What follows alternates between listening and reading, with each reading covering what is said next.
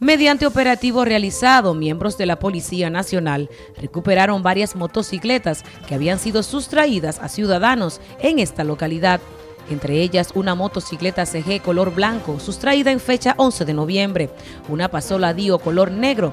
Fueron apresados en el hecho Steven Tejeda, residente en la calle Duvergé del sector Capacito.